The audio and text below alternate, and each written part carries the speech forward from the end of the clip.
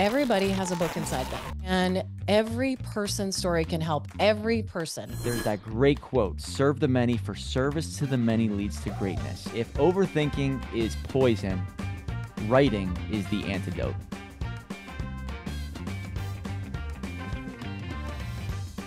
Legacy. All right. Mm-hmm. If I had a book that was written by my great great great grandfather, I would read it.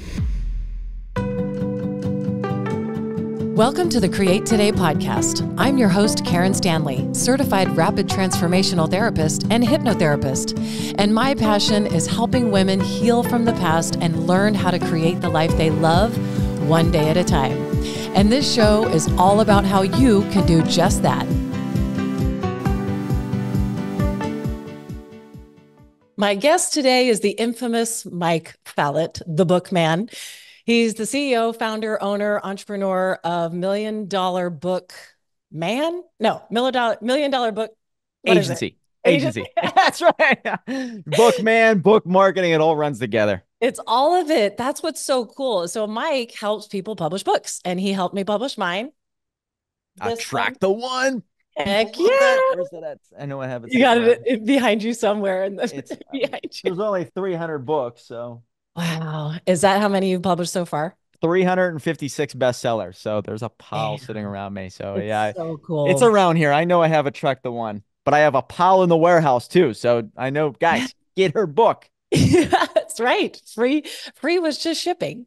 Yeah. It's the best. And and so he's really figured out an incredible way to help people write that book. And and with anything, you, even with writers, with the artwork, with the publishing, with the layout, how to do all the stuff on Amazon. And he really makes it easy. And I really think this is so important for people to write books and so many reasons. So before I get to Mike, um, kids, everybody has a book inside them. I really truly believe that. I know Mike agrees for a lot of different reasons, but not just to help your business.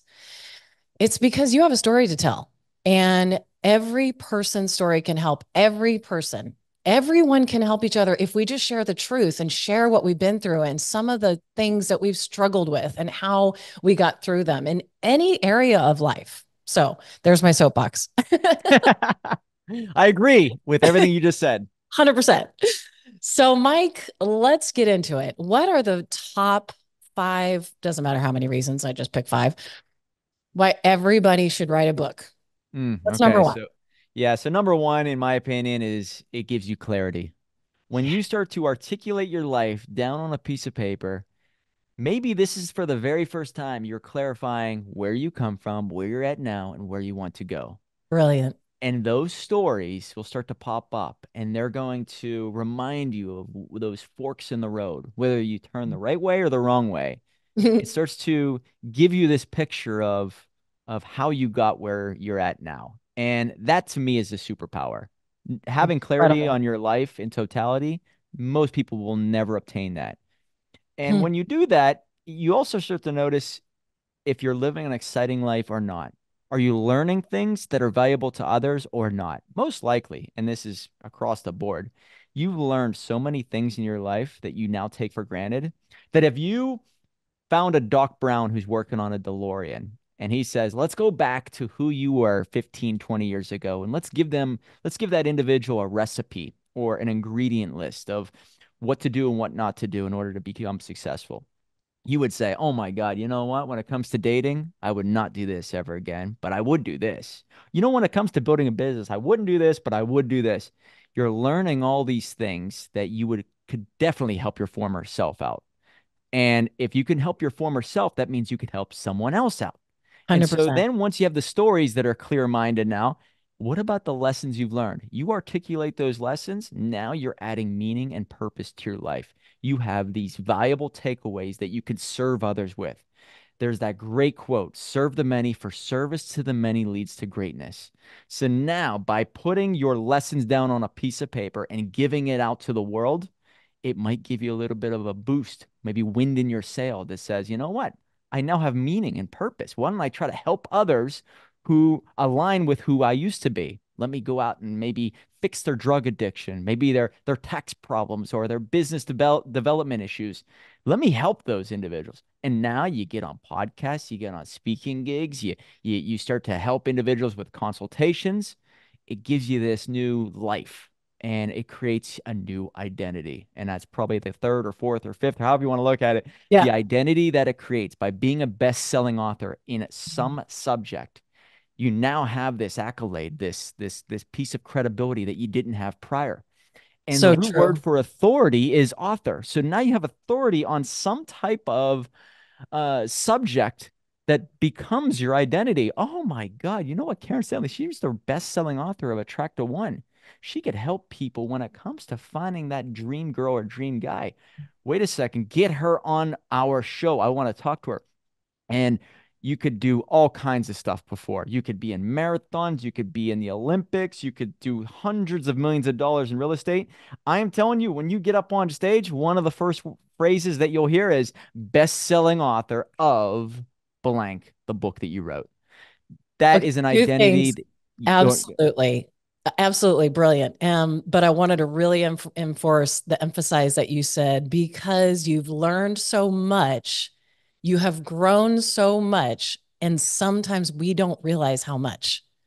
And right. writing it down, you're like, oh, I, I, it's hard to remember how you used to think about things, how you used to make decisions because you've changed. Everything's changed in the last 10 years. And it's really hard to remember what it was like, how I did think and feel and process and react, uh, uh, fill in the blank 10 years ago. Mm. Unless you sit down and you really slow down. That's what I love about writing is it slows me down. And I can really process and really articulate my thoughts a lot better. And therapy. Wasn't yeah, it therapy? Well, it is therapy. I mean, it's it's scientifically proven. Yeah. You turn your journal into a book to help somebody. It's brilliant. Um, and also, you know, some people are like, well, I don't want to be on podcasts. I don't want to be a speaker. Okay, great. You don't have to be because your book can also be just just a book just by itself if that's what you want. It doesn't you don't have to be a speaker or a podcast guest, right? Yeah. Well, yeah. there's a great quote out there, and I, I wish I could take credit for it, but mm. uh, most people struggle with overthinking and indecision. And some great writer said, if overthinking is poison, writing is the antidote. And yes. when when you start to see how, you know what, all of that doesn't matter. That's all noise. But wow, how was I thinking back then as compared to now? What shaped all that? Oh, it was this one book. Oh my God. You know what? Because of Rich Dad Poor Dad, I was never the same. Oh my God, you have the uh, tattoo arte. Thank God I joined this mastermind 100%. and I met this person. And that was, oh my God, you know what? It connects the dots. And, oh, that is the one thing that I would go back to my former self and tell that individual joining a mastermind, read this book. You start to see certain things down on a piece of paper. It's like a roadmap. And I'm telling you that when you're lost in the woods and you have no map to go, you're depressed I will say when you have a, a light at the end of the tunnel, you have hope. And I guess maybe that's what happens when you write a book. You have not only a new identity, but maybe you have a light at the end of the tunnel. You mm. have this ability to to fight maybe that indecision or the overthinking that is mm. happening. And maybe you're able to, for the very first time, say, well, you know what? If I put these words down on a piece of paper and it changes someone else's life, forget about my own problems. I get to help others. You get out of your own way and you become more of a servant to the world. 100%. Love it. Okay.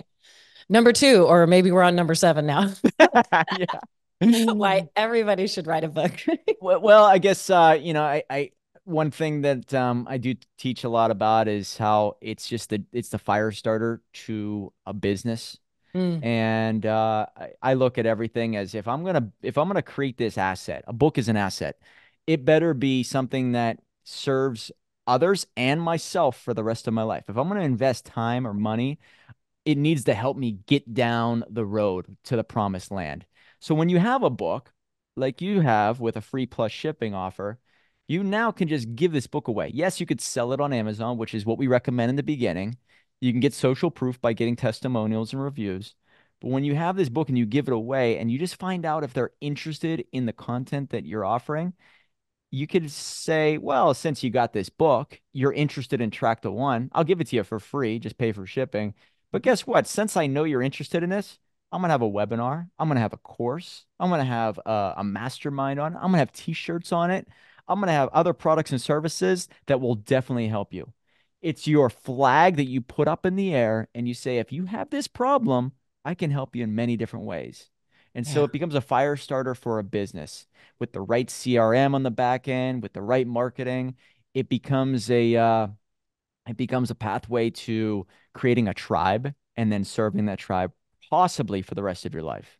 Yeah, I it's so true. You can help them further because a book is so powerful and what we read and can and consume and actually digest is what is? There's like a stat somewhere. It's like we really only retain what 10% or 15% of what we read, Mm-hmm. something like that, right? So I love how you call it a fire starter because you're like, how many times have I gone back and read the same book twice or three times because it's been a while um, The Man's Search for Meaning. My sister and I just brought that up, Viktor Frankl. I'm like, I think it's been 30 years since I've read that book, and I'm going to read it again. Like, I just downloaded it again because sometimes we need to read it again. So, I just love the fire starter because a book is a brilliant way to start and it can help you with so much and rethink the way that you think and help you achieve whatever you're trying to achieve. And then you can help further, maybe with therapy as a therapist, obviously, or a journal. Obviously, I have the companion journal. But what what other things um, have you used in the business? And I want to kind of explain to listeners who have been thinking about writing a book, who haven't started yet, and don't really even know where to start. I would love for you to just walk them through how easy the process is. If they just call you and set up an appointment, and then tell them how easy it is. Just kind of walk them through the process real quick.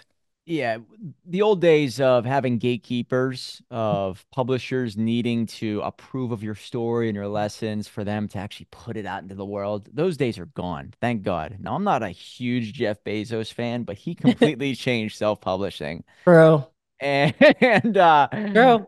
yeah, and you have to thank somebody like that because he made it easy for individuals to bring their stories to life in a book in a very cost effective manner. So, where does it all begin? Yeah, you can obviously give us a call and you can go to our, our website, dreamstarterspublishing.com. You can schedule a consultation. We can run you through all this. But to break it down, it's if I were you and you're sitting there, man, what would I write a book about? I Hmm. would love for you to just dream a little bit. Envision yourself five years from now or a year from now. What do you want to be doing? How do you want to make most of your money? And then put that on a piece of paper. Man, I would love to be doing X, Y, and Z. I would love to be helping women start businesses. I'd love to be helping couples, you know, have a better marriage, whatever. Great. Well, then, can you articulate 15 lessons that you would teach those people that will help them get to where you're at now? It could be as simple in the most generic form possible. And there is an equation that I live by, and it's generic lessons, okay? Tied to specific stories geared towards a specific audience. So let's break that down. Okay. Dream vision of yourself. Okay. Here's where I want to go. Here are my lessons. How did I learn these lessons? Now that you got the specific story. Uh, this person broke up with me. I started this business and I failed. Uh, my mom taught me this whenever I was seven years old. I never forgot it. Whatever it is. These stories are specific. Get them down on a piece of paper in one to one word to a sentence. Just have a sentence there. And then who do I want to help? That should be pretty intuitive, right? You know who you want to help and articulate those words. Single mom, married couple, rich guy, divorced man, 17 year old kid, whatever it is, bring that um, avatar to life with a few words. Now you have a lesson story target audience. You would give that outline to someone like me, and we would interview you and we would just have a conversation. Hey, lesson number one is get around the right people. What does this mean to you, and how did you learn this lesson? And we have a conversation.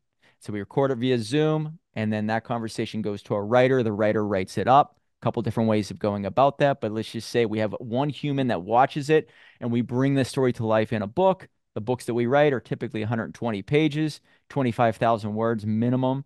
And so we write the first draft, we give it to you through a few back and forths. Mhm. We help you out with title and subtitle. That always comes after the interview, never comes first, always after, simply because you want to marry the title to the content. You don't want to marry the content to the title. And let me explain what that means. When you are putting together a book and you start off with a title and you say, all right, everything I write has to do something with this title, it limits you creatively. Mm. But if mm. you say, you know what, how do I want to help the world and what's the business I want to build? Let me write this lesson sheet out. And then, you know what, now that I have all this content, what would I call this? And then we help you out with title and subtitle, my recommendations. We give you, th- you know, many, you know, mm. 10 to 12 different suggestions, but three words. The subtitle should be a how to or the ultimate guide for. Once you have the book itself and the title and subtitle, we go to a cover designer. We give you at least 20 cover designs. You pick your favorite cover. That's done. Read your book, make adjustments, few back and forth. That's done. Upload it to Amazon. Amazon prints the book. You review it one last time. You give us a thumbs up, and then we put you on the schedule to turn you into an Amazon bestseller. You know that game really well. It's all about leverage, positioning, and timing. So totally. at the end of all this, it's usually 60 to 90 days, and you're a best selling author for life. It's so great. And you make it really easy. But I also wanted to just jump in there and say you don't have to use uh, your writers. You can just write a book, you know, oh, you right. use your team. I just wrote a book and I had a bunch of people helping me and I had a lot of editors. And then your team helped me as well. So it's like, you can just use the editors. Eh, what's that saying? There's like, there are no good writers, only good editors. but that's uh, it could be the the case because an editor is the, the is the last person that's going to see it and they can fix a lot so I hey if you want to write i mean just so you know you want to ai out there guys True. ai is getting better and better within five years ai will probably be the best writer that's mm, ever existed Gosh, so sadly. there are programs out there that you can do things in a way True. just our philosophy is get it done get your story your lessons down in any way, shape, and form. And if you're a great writer, Karen, you you you wrote and then you had an editor yeah. fix it up. That's that could be your your your play, guys. It doesn't need to be one set way. It depends on your personality. And you have all the tools. So whatever it is, wherever it is that you you feel like, oh, I'm not sure how to do this part, but I really want to do this part myself. Great, do it. The best. Yeah, and and putting it all together, that's kind of tricky for the average person. It is, right? You it have is. words on a piece of paper, right? It's probably an eight and a half by 11 on your Google Docs or Microsoft Word. Or if you're one of the other people, pages. I don't like Apple people, Ugh. just so you know. Yeah, All right, Apple so. people, but pages, no, no, no bueno. Ah, pages, they're they're terrible. Editors hate pages. Anyways, but anyway, it's there, right? You have the words. Great. Right. What do I do with it now? Well, now you need to put in a six by nine format. You also need to have the margins right. You can't have any um embedded fonts. I mean all this stuff is like really tricky for somebody who's going to do it one time. So it my is. recommendation is give it to someone who does it day in and day out like our company. I'm yes. sure there are many out there that could help you out but just get it done and then have the cover design put on top of it with the right sizes right? Like I, I, you do, you don't want to deal with any of the cover stuff. design for you right? Yep. We do yep. So the cover design think about it. Like the average person doesn't realize that oh, what does the cover file look like? How much? What what are the what are the margins inside? And in my mind, I already know that we were talking about twelve point five two zero by nine point two five zero. That's embedded in my brain. That right. we need to start there.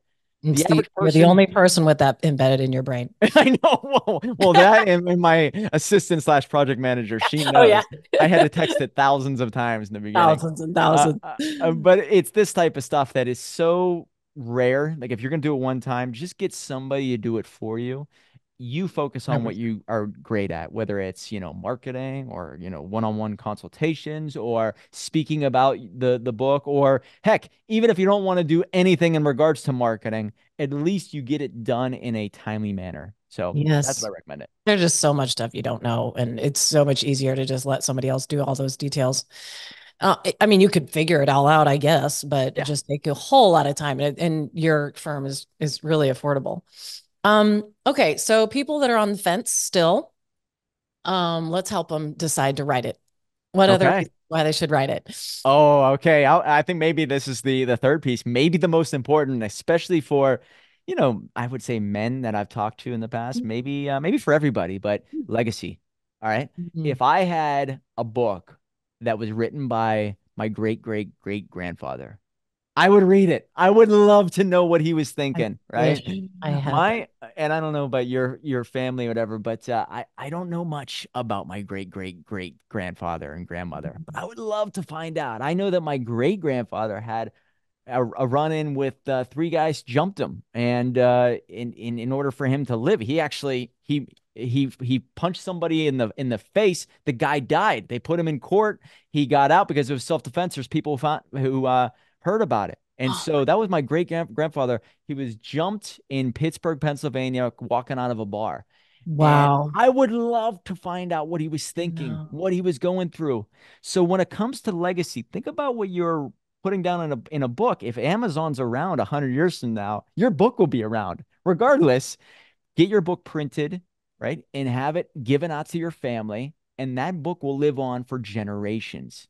Hmm. So your story, your lessons, it's not going to go to waste. It'll be there for your kids or your grandkids or your grand grand grandkids, I guess is the best way to great, put it. Great, great, great grand. Yeah, great, great, great, great, great, yeah. great grandkids, right? Or uh, or even maybe nieces and nephews, whatever it is, legacy. People want to um maybe mm. think about what you went through or learn what you went through. So very significant when it comes to legacy. And uh, I think that uh, more so than any time that I've seen, people are focusing on all right, if I'm going to build this business and I'm going to do all these wonderful things, it's got to be documented. So people know what I was going through and what I experienced. So the legacy for sure would be at the top of the list. Well, I think it's even a stronger um, argument if Amazon does go down then print the book. You have a printed copy they can't take from you. Yes. And it it I that's why I buy paper books of every single book. I listen to audibles all the time.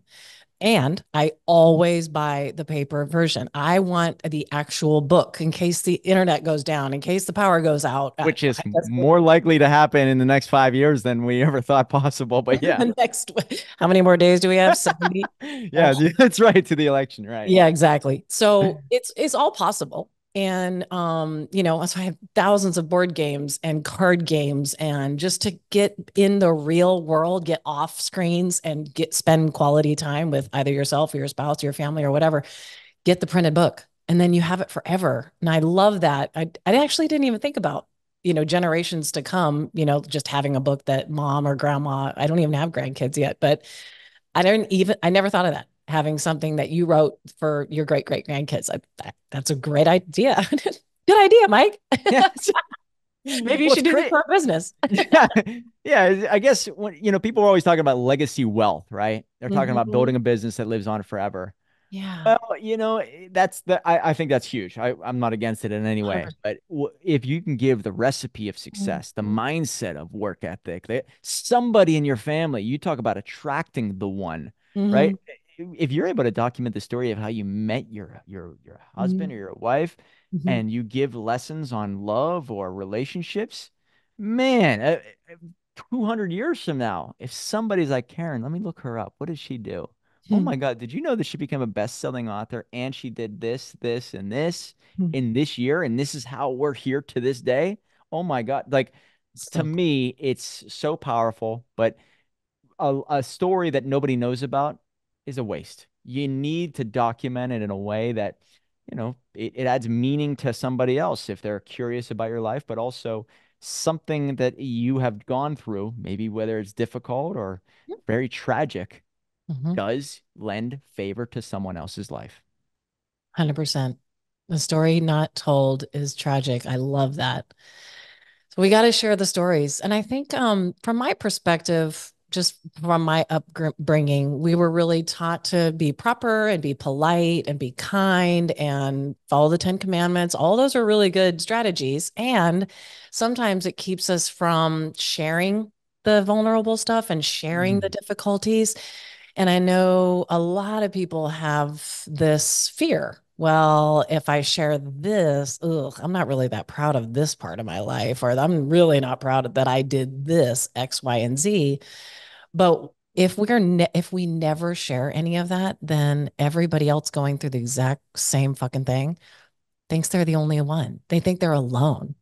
And maybe you could speak to that too, because you've been really vulnerable on social media. You shared short, shared a lot of your journey, a lot of the downs, and then the ups. Because you, oh my gosh, what 10 years ago you went through bankruptcy is that right no uh, i i was close to bankruptcy, Really? but I did. And I was three hundred thousand dollars in debt, and I almost. I mean, there was a couple days there. I'm like, what? How easy is it to just file for bankruptcy? I did file for bankruptcy back in Wow. 08. So I did go bankrupt and I lost my house and my car all in one year and got a Well, I- divorce. I, I'm telling you, I've interviewed many people with that story. It's right around the 2008, 2009 Yep. time period too. Yep. The, the storm that hit people back then is just insane. But it, it's what you just said is so so important. Being vulnerable is the key, right? There's two things that happen when you're vulnerable. You really show the picture so they can really know, like, and trust you of what you went through. Mhm. And and if you're vulnerable, um, they're they're able to latch onto it and say, "Wow, you know what? That's exactly what I'm going through. Oh my God, this is this is what I agree with. Oh my God, I went through the same type of divorce. Oh my God, I like this person more." The other part of it is the more vulnerable you are, the more courage it takes to say it, which no matter who you are, you respect somebody who has courage. So if you're vulnerable with your story, you showcase what you went through and you don't hold anything back, doesn't matter which side of the fence you're on. You have to say to that person, eh, you know what? I respect that you have this much courage to say that because not many people can.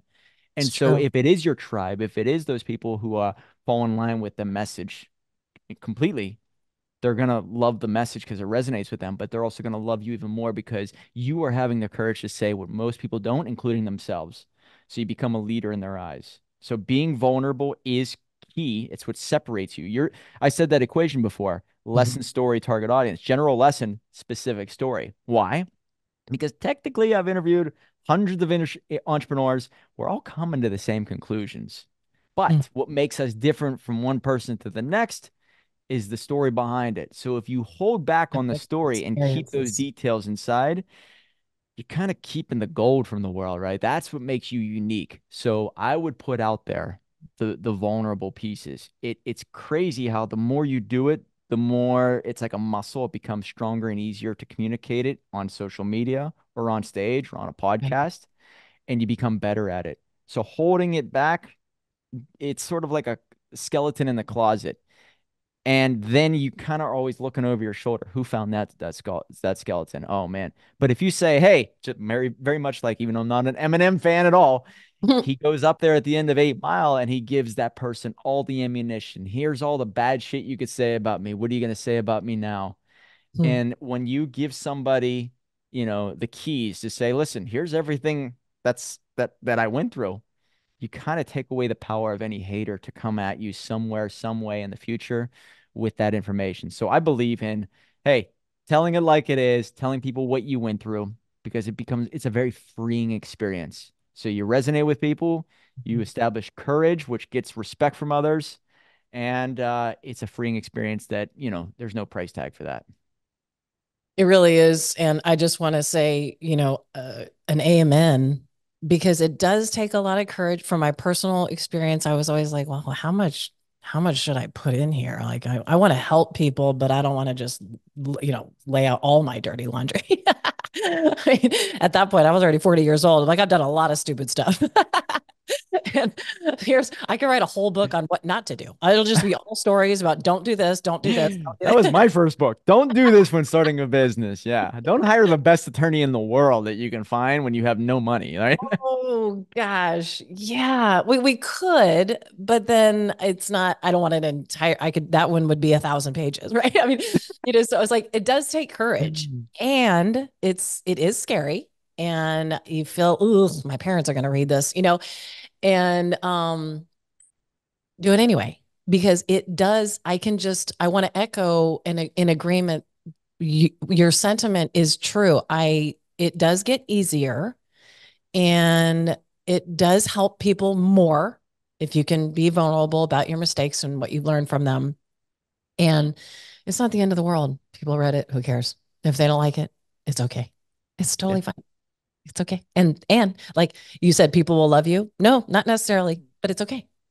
They they might go, oh, well, wow. Okay. Well, Whatever. you probably realize this. Hey, you know what? There's a point where you maybe want to hold something back, maybe about Yeah. a conversation you had with your husband or Yeah. somebody, but you tell enough to give somebody the full picture, right? Yeah. That's it. And maybe over time you can become a little bit more comfortable with the sharing the entire story. Yeah. And so get to a point where you're like, hey, this is just a little bit outside my comfort zone, but they need to know this piece. Doesn't have to be every detail. Get to a point where it's still vulnerable. People see the true story, and then you work from there. You don't have to end there. So true. There can you, you don't have to end there. That's it. That's a mic drop. nice. Ending there, we'll wrap it up. No, um, no, I do want to wrap it up. I know we've got tons of things on the docket today, but I just want to urge anyone who's listening to just get started. So the best way to get started, I'll just share what I did, and then you can tell what you recommend for other people. You can share your experience about just writing your first book. I just carved out Saturdays because my husband always worked six days a week. He always worked on Saturdays. We all have busy lives. We all have all kinds of things going on. I had kids, everybody. So I just went, okay, so Saturday when he goes to work, I'm just going to sit at the kitchen table. And as soon as my kids need me or something else pops up, I you generally didn't have any appointments on Saturdays. So I just go, sometimes it was three hours, sometimes it was four, sometimes it was one, sometimes I get all six hours, you know, and I just, that's it. All I did was write on Saturdays. And then um, it took me a long time, but it didn't matter. I mean, there's no huge rush really. But if I had known Mike back then when I first started, then I might have had, I might have hired you to do more of the writing because it's easier sometimes to talk. But if you're like me, maybe you want to write. Writing is very therapeutic. Mm-hmm. Therapeutic. So just write, just start anywhere. Just start.